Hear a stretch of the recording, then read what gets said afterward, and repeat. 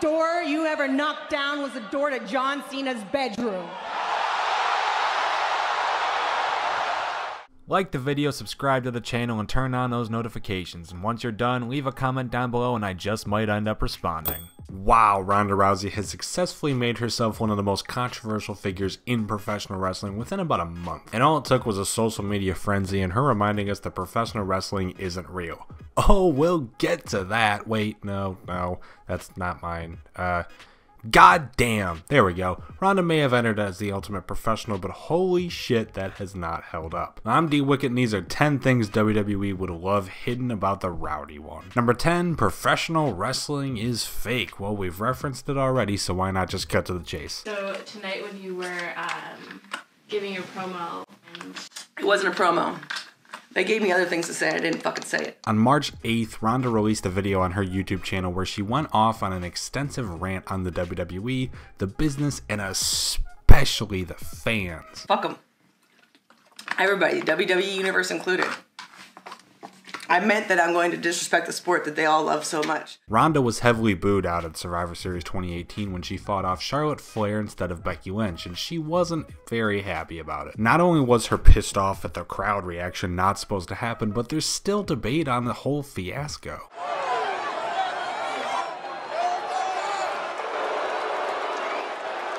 Unsympathetic. I mean, in hindsight, with the heel turn, it might have all been a storyline. It probably was, in all honesty, but that doesn't make any difference. This is still a wrestler actively kicking kayfabe in the nutsack, and I ain't about it. Oh, don't break kayfabe, Ronda. Wrestling's it's scripted. It's made up. It's not real. None of those bitches can fucking touch me. The end. Number nine, those rumors about her leaving. So there have been rumors going around for a while that um, after WrestleMania, I am done with the. WWE. They've been running rampant for weeks now, and while yes, Ronda did let out a personal statement about these rumors and the state of her family, Ronda did let out a personal statement about all the rumors about her leaving to start a family by basically telling people to fuck out of her personal business. Just my brass and my ass. As for me leaving the WWE, well, stay out of my sax life. She also let out a statement telling the same people to fuck off since the actual business is fake, so I really don't know how to look at her social media presence anymore. Fuck them. One way or another, though, there's a lot of talk that she'll be leaving after WrestleMania 35 for one reason or another. And that's always going to be shitty press to have on a wrestler who's in the main event of the biggest show of the year. Rousey is about to take it all. Psych! Shoulders down! Shoulders down! Take it! With Ronda being on such a higher level of fame than most of the entire roster, and her obviously not having walked out of Mania with the titles, I mean, it kind of adds up. What else does she have? You know, I've been to the top of the WWE, been top of the UFC, I've been to the pinnacle of sport, at the Olympics. Number eight, her temper. Her, get her under control. Oh no!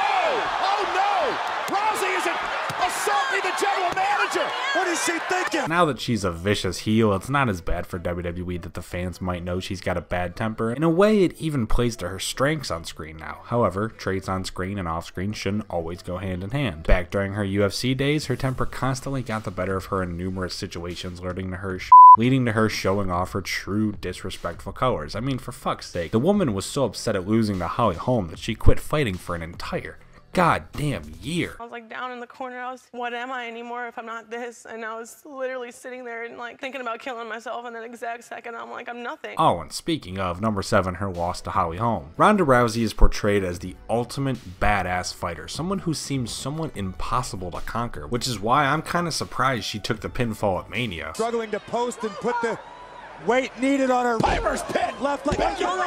Shoulders down. Shoulders down. Take it. Despite being overall very dominating throughout her run with Ultimate Fighting Championship, her surprise loss to Holly Holm not only caught most of the world off guard, but also kickstarted countless debates. Is the cocky Ronda Rousey really all she talks up to be? Is she getting stale? Has it been a fluke and can she somehow come back from this? Holly Holm is the new UFC bantamweight champion of the world. And yeah, as we mentioned, her reaction to the loss was a complete joke too. Imagine if Brock Lesnar took a year off WWE after Roman beat him at SummerSlam before he stepped back into the ring. Because that's essentially what happened here. Brock Lesnar's a guy who's gone back and forth. Could you foresee something in the future saying, oh, three, four years down the road, if there's a fight that makes sense, if you still have that itch, do you think you could ever go back and fight in the UFC? Number six, her debut match somehow stole WrestleMania. Better enjoy the moment because it's about to become reality. This isn't really a knock on Ronda Rousey as much as it is just a strange statement to how WWE books things that on a card that also featured AJ Styles versus Shinsuke goddamn Nakamura, the best match was the one that included a rookie, a pair of 49 year olds, and Stephanie McMahon. Armbar, Triple H. Are you serious? Triple H is gonna tie Armbar locked in. Her patented submission. That's just is is is just fucking weird. And here come the strikes for the baddest woman on the planet. Rousey with rights and lefts. Over the midsection drop Stephanie. Number five, she's really bad on the mic. If you can't dream big, ridiculous dreams, what's the use of dreaming at all? For a newcomer, Ronda has actually been consistently great inside of the ring. You can tell she's a real professional and takes her athleticism seriously. Her promos, on the other hand, well, being a heel has helped her a little bit more with the realism department, but man, were her promos just fucking terrible for like an entire year. You, me, and everyone else here knows that I can re-break your face faster than you could say Nia Jax. I'm sorry, I've never liked the hey guys, I'm here and I sure am happy about it promos to begin with, so pairing that with her abysmal acting skills really didn't do much for me. She can get kind of intense, but when she does this, her face goes all like this, and I, I just get upset again. The only door you ever knocked down was the door to John Cena's bedroom. Number four, she took years to get here. Well, WWE knew they weren't going to get Ronda fresh off the heels of Mania 31 when she cameoed alongside The Rock.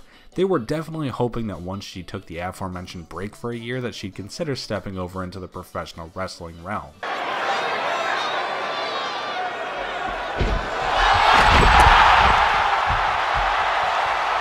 There were talks for months, not only rumors, but also WWE reps contacting Ronda to try and work something out. Unfortunately for them, Ronda wouldn't agree to sign a contract for almost three years.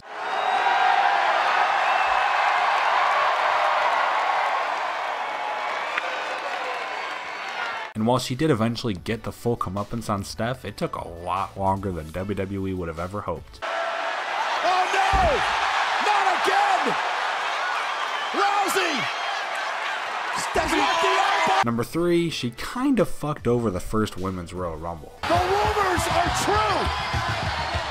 Ronda Rousey is here. Women have been a hot topic lately, especially in the last few years of the WWE for the whole Divas evolution that slowly turned into the Women's evolution, which hit a new peak when three women main evented the biggest show of the year. So last year, when the women were finally given a shot at the Royal Rumble match, it seems kind of dumb to overshadow Asuka's incredible first ever Women's Rumble win by having Ronda debut literally just minutes afterwards. All that attention that Asuka deserved instead directed straight to Ronda. We're, we're, we are sitting here with the boss. We're sitting here with Stephanie McMahon. And Stephanie has no idea what Ronda Rousey is doing. Plus, number two, her debut made no fucking sense. After Asuka won the Rumble, the respective women's champions Charlotte Flair of SmackDown and Alexa Bliss of Raw came out to let the Empress pick her opponent of tomorrow. Before, of course, being interrupted by the Freaks and Geeks theme song and a happy go rowdy Ronda. Maybe I'm the only one who doesn't get this shit, but let's just play connect the dots real quick, okay? Ronda debuts in the ring to interrupt Charlotte Flair, Alexa Bliss, and Asuka. So it's only natural that come WrestleMania, she competed with Triple H, Kurt Angle, and Stephanie McMahon. Huh? Plus, Asuka's the only one who even teased the match with Ronda in this segment, despite being the only one who 100% definitely wasn't going to fight her at Mania. Corey Ronda Rousey marched down here and got the face of Charlotte, Alexa Bliss, and Asuka, arguably the three most powerful women in WWE today. And number one, the whole husband situation. I, I honestly can't believe that Travis Browne even fucking popped up on Monday Night Raw giving this whole story. And that is uh, Ronda's husband, Travis Browne, at ringside. Meanwhile, security. Oh! There's no need for security to get involved. Let's just cut straight to it. Ronda was outed for cheating on her boyfriend uh, before Travis Browne After suspicions arose whether or not she was physically abusive of him, Ronda's new flame was confirmed to be Travis Browne, who he had also been cheating and physically abusing his wife, the second wife he's divorced so far, the second wife he's had domestic disputes surrounding. Jesus Christ, that is a mess. Ronda Rousey went right after the security, now trying to beat the hell out of that man. Oh!